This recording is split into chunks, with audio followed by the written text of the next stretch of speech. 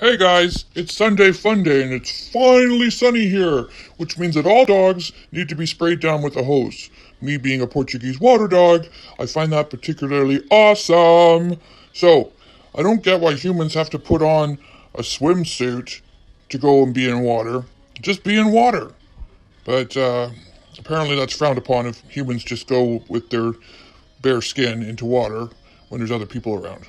So, me as a dog, I'm going to enjoy being sprayed down, and I have my own little dog pool, and I'm going to chill out in the backyard. Um, it's a hot day, and just be nice and cool and wet. So tell me what you're doing this Sunday fun day. All right, this is Bandit. Peace out.